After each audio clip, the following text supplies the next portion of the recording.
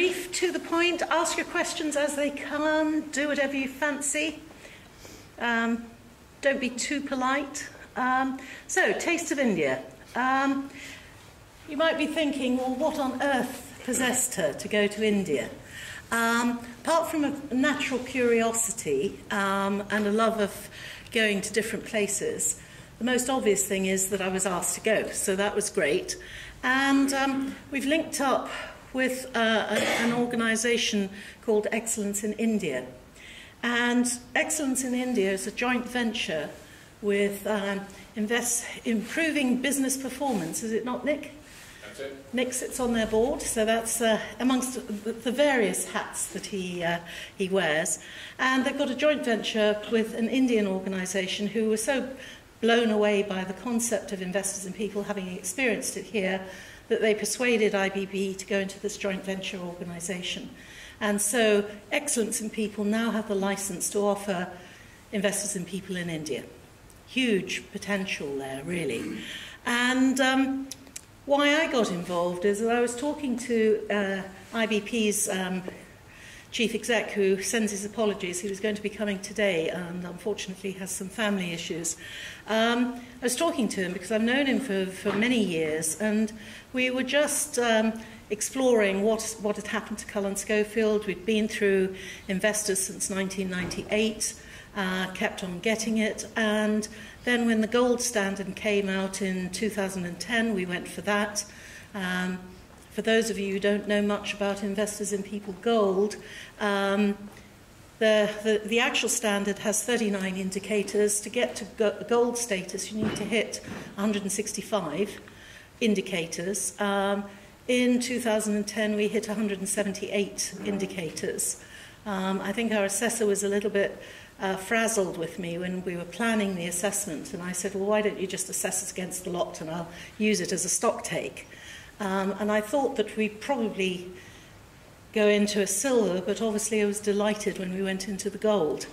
Um, so in 2013, we needed to get reaccredited again or reassessed. And in that time, the consulting team had remained stable, um, but the administration team had turned over totally, apart from one person. So I was fascinated to then see how well I'd managed, or we'd managed to get that new admin team into position and breathing and living what Cullen Scholefield is about.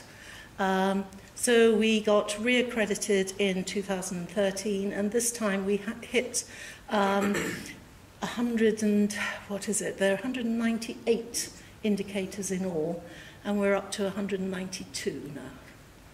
So only six left, and some of those are unattainable because we're not unionised.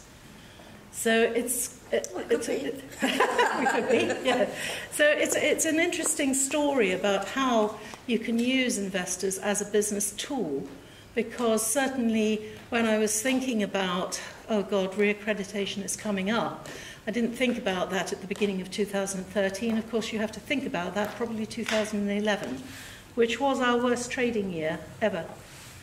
And so it's, it's been quite an interesting journey to not only bring on a new team, but also to, to live those deals in this economic climate that we're in. And I believe that Investors and People is the UK's single most important tool for businesses, but it's also its single most misunderstood and under-recognized tool. Um, I was at a presentation um, by the chief exec of um, Gatwick Airport. Nick kindly invited me. And because at Gatwick Airport there's a big debate about the second runway, all of that sort of thing. And in that meeting, he was telling us about all of the improvements that have happened at Gatwick Airport. And since I'm regularly in and out of Gatwick, I know those improvements and I've seen the turmoil as well.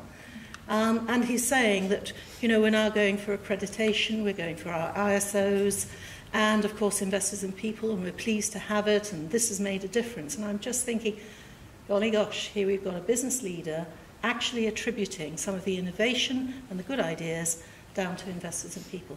So enough about investors and people, I'll get off my hobby horse, but you can see I'm quite passionate about it, because I think it's a good discipline. So, what was the format? Well, it was a speaking slot at a day long conference. Um, the major thing that I found quite interesting is that was an, the, the audience was predominantly HR at the conference and predominantly women. Just throw that in for uh, insight. And then there was a speaking slot at a cocktail party, um, and the key business leaders in Bangalore or Bangalore were there uh, at the express invitation of the High Commissioner, and that still carries weight. And it was rather interesting seeing UKTI's banners up there and Great Britain, and you suddenly thought, oh, really? I live there. and, uh, but very interesting. And, you know, shades of the Raj. And again, that audience was almost totally male. And I was doing as you do, standing in the front, waiting for people to assemble. And they were doing the usual thing, getting into little clusters and not moving, just as you did earlier on. And uh, I thought, if I was back home, would I be there? I'd be out there with the business cards, introducing myself and milling around. So, of course, I did that. Uh, India at the moment has adopted a part Japanese, part Indian way of dealing with business cards. So, when I was in Japan some time ago, I was reading up about the cultural differences because I was working with a company who was very strong on making sure that I didn't. Uh, commit any cultural faux pas. So I was practicing. I, I got a new business card holder because, you know, that, that's the thing to do. And then I was practicing the solemn accepting of a business card with both hands, reading it and bowing the head a little bit, and then obviously offering your own. Well, what happened in India was that you had a mixture. You've, you've, you've got a handbag, you've got the business cards, you've got the two hands, and you're, then sometimes it's one hand, and then you've got to give your own business card. Well, the handbag got jettisoned very quickly because there was just no way it was going to work. But um, it was interesting to see that this uh, acknowledgement of business cards is still a tradition that we're, we're, we're following. And yet here, oh yeah, business card, bump, and away it goes. But none of this sort of momentary pause. So if you're ever travelling, do bear that one in mind. It's great fun. So the speak, I, I had two different presentations at uh, the, the, the conference. One was much more HRE, but the, uh, the one in the evening, I was specifically asked to be a lot more hard hitting about the business reasons for doing um, investors and what research uh, is available on that. Um, so, just impressions of Bangalore. I would say a fabulous place to start an Indian adventure. Uh, I was born and brought up in Africa, so the great divide of poverty and uh, money um, wasn't new to me. And I'd sort of a few years ago been to Sri Lanka, so I, I, I refreshed my, my memories of that. But um, the climate was fabulous saw some of the same flora and fauna that I grew up with, so it was, it was a lovely trip for me in that way. It's a highly technical uh, area, not just IT, but aerospace as well. Um, and um, the energy is amazing. I landed at the new airport, which is similar to Terminal 5 in its sophistication drove out of it, got meted, greeted, drove out of it, and for several miles we were on this beautiful highway. And then all of a sudden we were on bumpy roads. And what they're doing is they're building this huge concrete um, expressway into the center of Bang- Bangalore so that the speed of the transfer can be uh, much more effective. But uh, they're only three quarters of the way, so we ended up on uh, Indian roads. And the service was absolutely amazing. I bumped into somebody at the CIPD conference last week from New Zealand. She said, I haven't been to the UK for a long time. She said, What's happened to your service? And I thought, Oh, that's interesting. She said, It's an effort to get everything. Um, and while I'm on the service, um, accident prone and Cullen Scholefield sometimes goes hand in hand, and especially if my lovely Carol Bates is is with me, you know, the potential for accidents um, increases. But I mean, this is this is where she can sort of definitely thumb her nose at me because I arrived 5:30 in the morning, a little bit sort of weary. My suitcase had got a lot of uh, marketing materials in it, so it was marked heavy load. got it off the trolley thing, got to the hotel, and I thought, oh, they've locked it. I never normally lock my suitcases. And I thought, okay, well, okay. I talked to the receptionist. I said, well, somebody's going to have to perhaps come up and we'll have to break the locks to get it in. Got into the room, and I'm not OCD, although anybody who doesn't polish in my granite at home is, is in trouble. And I, I thought this suitcase is looking a little bit dirtier than mine. And then when I examined it closely, of course, it wasn't my suitcase. And by this time, it's around about quarter to six, and uh, I rang to reception because the uh, handyman had turned up ready to do the business with the locks, and I thought, whoa, we better not. So he went and rang to the reception, and they said, don't worry, ma'am, we'll, we'll, we'll, we'll help.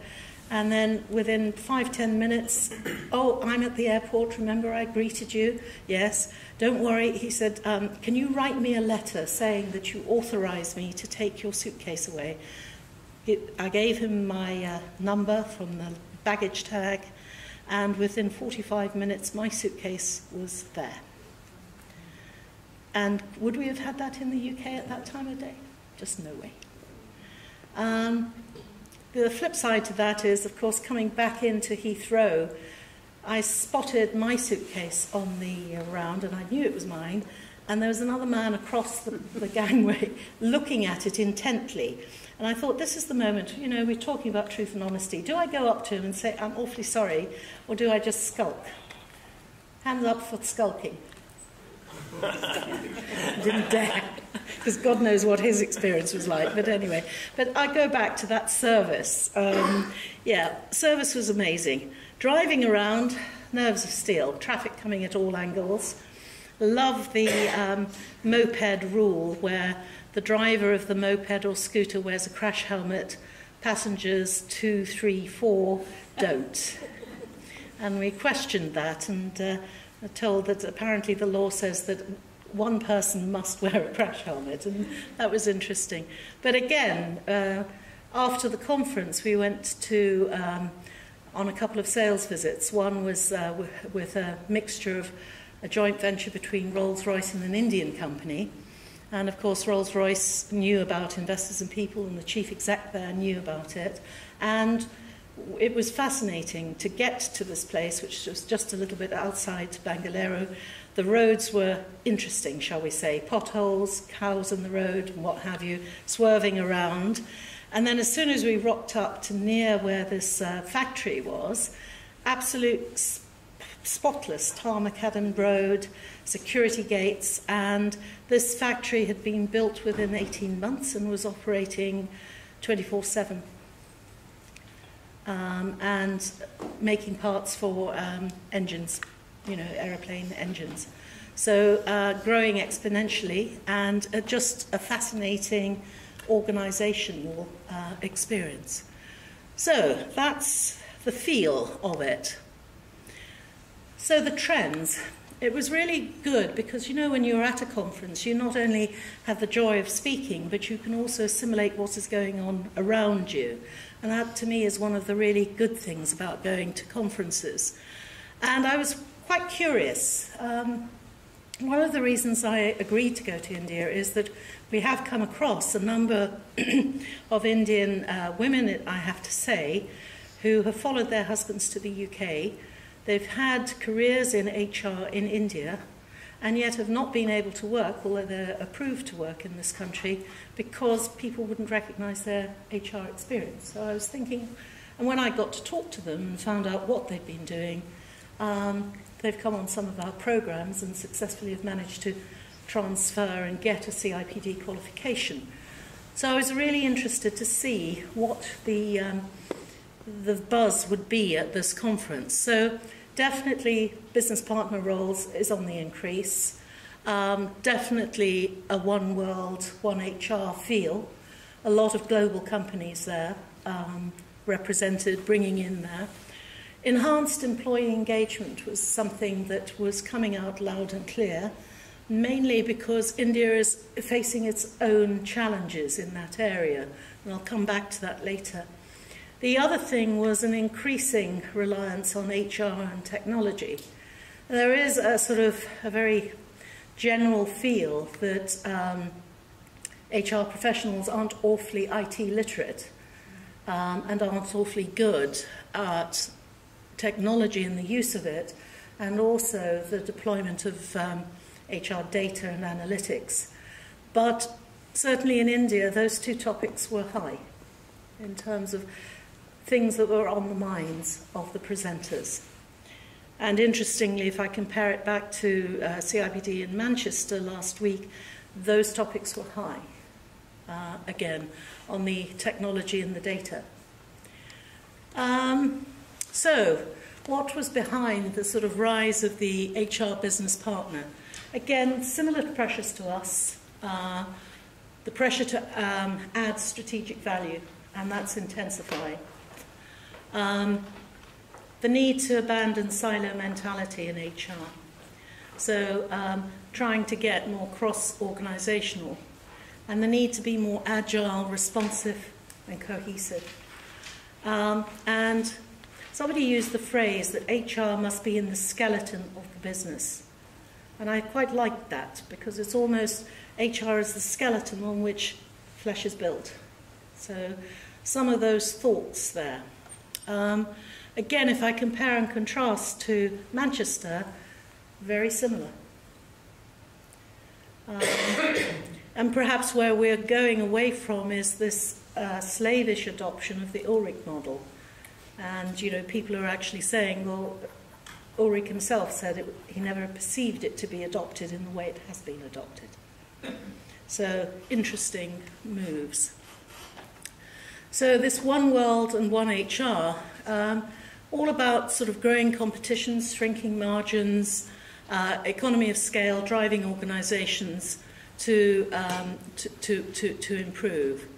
Um, a feeling, though, that whilst that's important, also local participation in decision making was still very important. And as you would expect, higher need for flexibility, mobility, and cultural sensitivity. So, again, if you're working in that mixed cultural environment, to get that cultural sensitivity on the move. And collaborative working being the norm with a diverse team structure, and diverse not only in terms of our traditional diversity thinking, but also um, diverse in terms of functional makeup. Um, so teams formed for specific projects and then reshaping again for another project. Um, so lots of similarities, really. Um, now getting on to the employee engagement side, which was really interesting. Well, it challenges all organisations.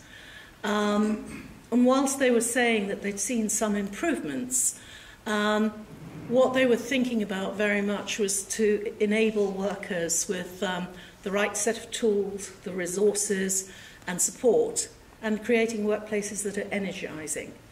So, whilst some of the people who saw um, Goffee and Jones at uh, Manchester last week were saying, well, they, they were a bit lackluster. Still, what they were saying and what we used in what I, I wrote in the blog on uh, last Thursday, that dreams mnemonic, is still there, fighting us even in India and in the UK. This whole thing about making work an energizing place to do business in. And you know, I, you can't argue it. If you think about the number of hours we spend working, if it ain't fun, what the hell are we doing it for? And if we can't, as I think we were having a conversation at lunchtime, if we can't see that connect to you're going to be able to prosper and grow and get filthy rich and what have you, why are you working? And you know, we've got nearly a million unemployed youngsters at the moment. If we cannot excite them about working, we're going to have a really lean time during our pensionable years because who the hell's going to pay our pensions? Um, and this promotion of physical, emotional, social well-being, again, those are good employee engagement constructs that are around. Um, but again, what seems to be surprising, I find, is that something that is quite simple as a concept seems to be so difficult to actually get into managers' heads and it's a, a real challenge. So, HR and technology. I'm often known as a gadget queen, so I love technology, but I'd really sincerely believe that HR is, um, technology is HR's greatest ally.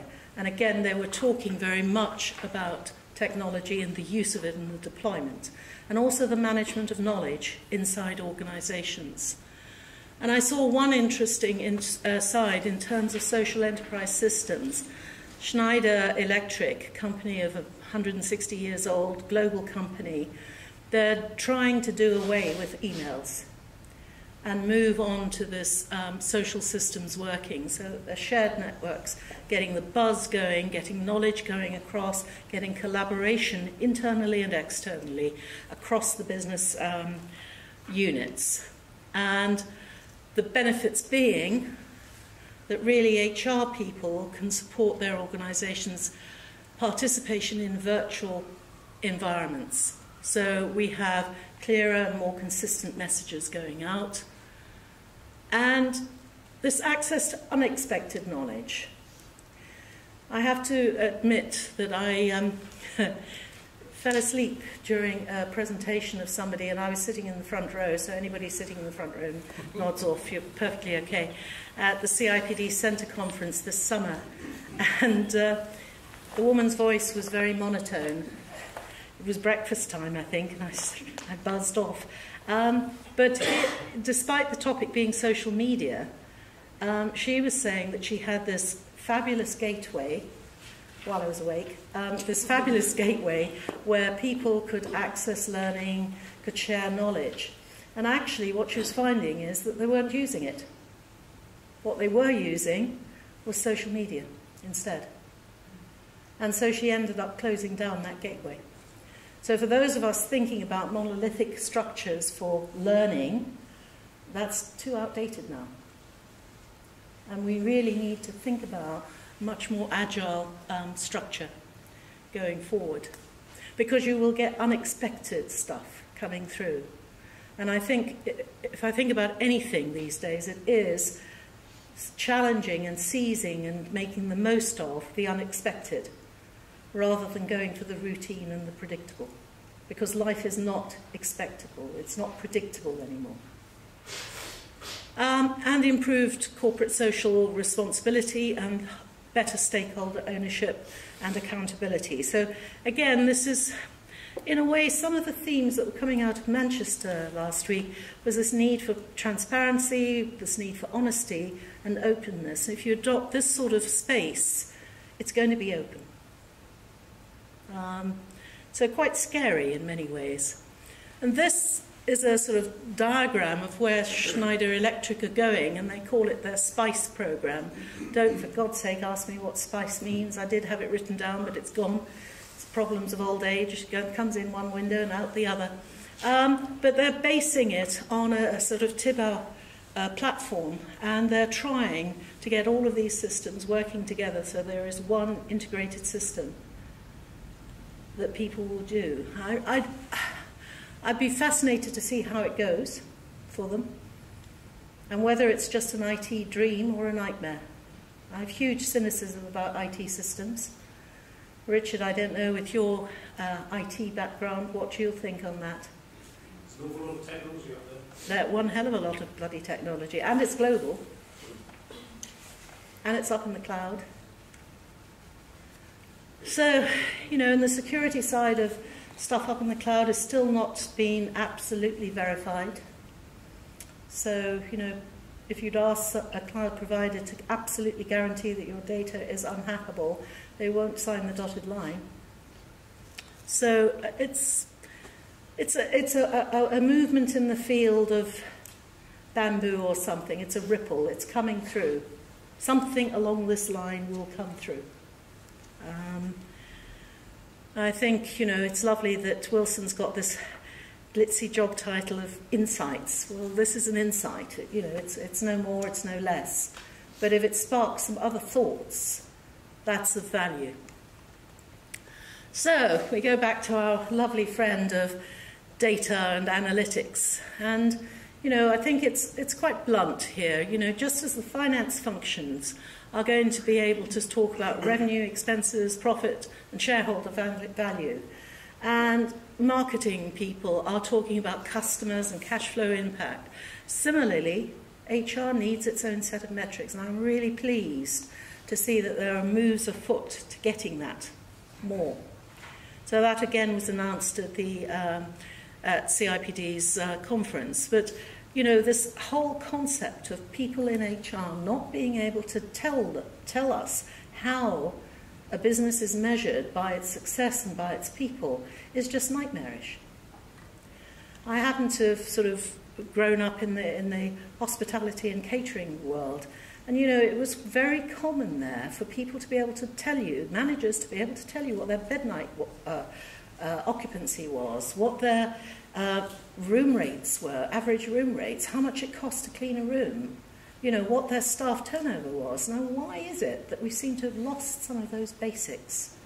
And it wasn't clustered, you know, sheltered knowledge that nobody knew about. It was regularly talked about.